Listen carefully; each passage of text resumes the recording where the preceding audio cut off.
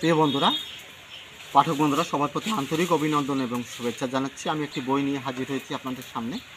বইটি দেখতে পাচ্ছেন, স্বপ্ন দেখুন, সফলতা আসবে। আজকে আমাদের তরুণ প্রজন্মের দিকে দেখা যায় যে তারা হতাশায় ভোগে। তারা হতাশ, তারা কি করবে কি করবে না, এ নিয়ে অনেক হতাশায় ভুগছে।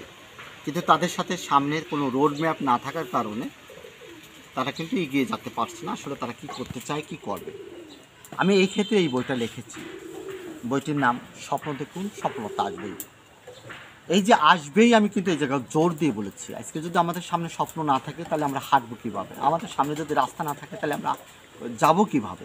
তাই এই ক্ষেত্রে এই বইটি আপনাদেরকে অবশ্যই একটি ভালো জায়গায় নেবে। আমরা আজকে পত্রপত্রিকায় দেখি যে অনেক বাচ্চারা নেশাগ্রস্ত হয়ে যাচ্ছে, অনেক বাচ্চারা বিভিন্ন জায়গায় চলে যাচ্ছে বিভিন্নভাবে তারা খারাপ পথে চলে যাচ্ছে। এই জন্যই ভালো জায়গায় আমাদেরকে আসতে হবে। আমাদেরকে ভালো পদগুলো দেখতে হবে। আমাদেরকে ভালো বই আমাদেরকে পড়তে হবে। তো এই ক্ষেত্রে আমি এই বইটা লিখেছি। স্বপ্ন দেখুন, সফলতা আসবেই। এই বইটি আমাদের, আমি মনে করি, বাংলাদেশের প্রত্যেকটি মানুষের এই বইটা একবার পড়ার দরকার। কেননা আমাদের সামনে কোনো রাস্তা না থাকার কারণে আমরা হতাশায় বুঝ- ভুগতেছি। তো এই ক্ষেত্রে এই বইটা আপনাদের অবশ্যই ভালো একটি ফল এনে দেবে। স্বপ্ন দেখুন, সফলতা আসবে। আজকে বাংলাদেশের আঠারো উনিশ কোটি মানুষ। এখন এই আঠারো উনিশ কোটি মানুষের আমরা যদি সবাই চাকরি খুঁজি, আমাদের সরকার এত চাকরি কীভাবে দেবে? আমাদের চাকরির পাশাপাশি আমাদেরকে চাকরি তৈরি করতে হবে। তৈরি যদি আমরা করতে পারি, তাহলে পারে কী হবে? দেশটা উন্নত হবে। এদেশের মানুষ কর্ম পাবে। তো এখনও আমরা যদি স্বপ্ন যদি না দেখি, কিছু করার চিন্তা যদি আমরা মাথার ভিতর না আনি, আমরা শুধু খালি লেখাপড়া শিখলাম, শুধু চাকরি খুঁজবো, তাহলে তো এত চাকরি এদেশে হবে না। আমাদেরকেও স্বপ্ন দেখতে হবে। যারা পৃথিবীতে, আপনি দেখুন, যারা পৃথিবীতে জন্ম নিয়েছেন, একেবারে কি বলে, একেবারে এখন নর্মাল জায়গায়, যাদের বাবার কিছু ছিল না, মায়ের কিছু ছিল না, একেবারে একেবারে খারাপ পজিশন তারা কিন্তু আজকে পৃথিবীকে জয় করেছে। তারা সোনার চামচ ধরার জন্য আজকে চেষ্টা করেছে বলতে, আজকে কিন্তু তারা সোনার চামচ ধরতে পেরেছে। আমাদের হতাশ নাই। আমরা বলি যে আমাকে বাবা এ দিল না, মা এ দিল না কিন্তু আজকে দেখুন, যারা বড় বড় চেয়ারে বসেছেন, বাংলাদেশে এবং বাংলাদেশের বাইরে, তারা কিন্তু বাবার, বাবা মার কিছু ছিল না, তাদের একক প্রচেষ্টায় তারা স্বপ্ন দেখেছেন। আমেরিকার প্রেসিডেন্ট সে বলেছেন ছোটবেলায় আমি কি হব? আমেরিকার প্রেসিডেন্ট হব। মানুষ এসেছেন কিন্তু সেই ব্যক্তিই কিন্তু আমেরিকার প্রেসিডেন্ট হয়েছেন।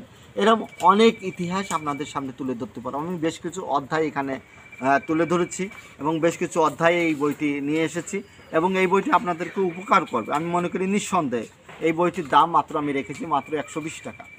একশো বিশ টাকা। আমি একেবারে একেবারে কম রেখেছি যাতে মানুষ এই বইটি পড়তে পারে। আমরা অনেক টাকা অনেকভাবে খরচ করে ফেলি। এই একশো বিশ টাকা দিয়ে এই বইটা আপনারা কিনলে অবশ্যই আপনাদেরকে একটি জায়গায় নিয়ে আসবে। এই জায়গা আপনারা দেখতে পাচ্ছেন যে মহামূল্যমান পুঁজি স্বপ্ন দেখুন, সফলতা আসবেই। তারপরে লেখছে, কেন অভিযোগ করি? আমাদের শুধু খালি অভিযোগ। খালি অভিযোগ করে, আমাকে অমকে দিল না সমক দিল না।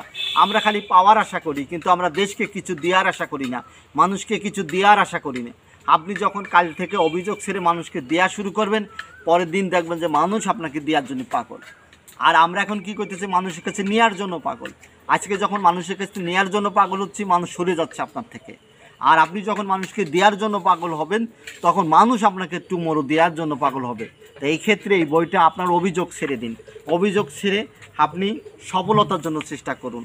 হ্যাঁ ব্যর্থ মানুষ, ব্যর্থ মানুষগুলো খালি শুধু অভিযোগ করে। আমি এই জায়গায় একটা পর্ব লিখছি, ব্যর্থ মানুষগুলো কি করে? খালি অভিযোগ করে। হ্যাঁ আর আপনাকে অবশ্যই পরিকল্পনা মতো কাজ করতে হবে। পরিকল্পনা থাকতে হবে। আসলে আপনি আপনার লাইফটাকে কি দেখতে চান?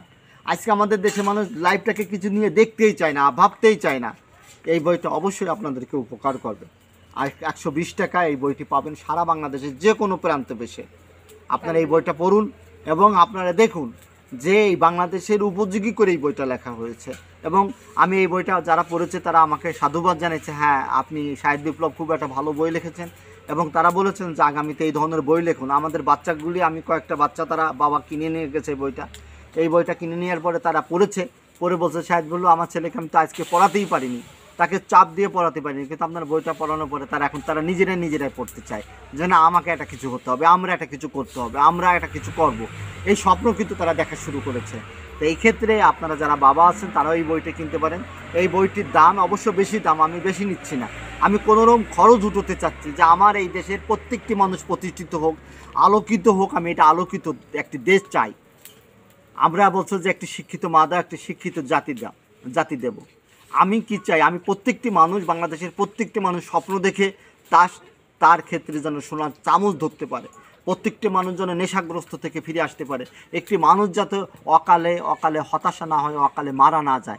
এই একটি পৃথিবী সুন্দর একটি পৃথিবীতে তারা যেন তাদের স্ব অবস্থানটাকে শক্তিশালী করতে পারে, তাদেরকে যেন কালজয়ী মানুষ হতে পারে, সফল মানুষ হতে পারে।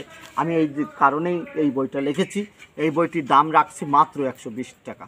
এবং এই বইটি পেতে হলে আপনারা যদি যেখানে বসে এই বইটি পেতে চান, এই বইটির দাম একশো বিশ টাকা এবং এটা পেতে হলে আপনি আমাকে, আমার সাথে যোগাযোগ করবেন। আমার প্রকাশনা, এটা টৈটই প্রকাশনী এই বইটি বের করেছে বাংলা বাজার মাদ্রাসা মার্কেট থেকে এই বইটি বের হয়েছে।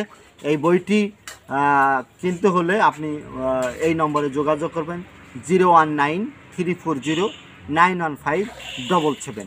আর কিচ্ছু লাগবে না। এটা আমার বিকাশ নম্বর। এই বিকাশ নম্বরে একশো বিশ টাকা আপনি বিকাশ করে দিলে এবং আপনার ঠিকানা দিলে পরা আমরা বাংলাদেশের যে কোনো প্রান্তে বসে এই বইটি পাবেন। আমি আশা করি একশো বিশ টাকা বড় কিছু নয়। একশো বিশ টাকা দিয়ে বাংলাদেশে কিচ্ছু পাওয়া যায় না। কিন্তু একশো বিশ টাকায় আপনাকে পরিবর্তন করে দেবে এই বিশ্বাস রাখি সকলের প্রতি ধন্যবাদ জানাই এবং এই বইটা কিনবেন এই প্রত্যাশা রাখি।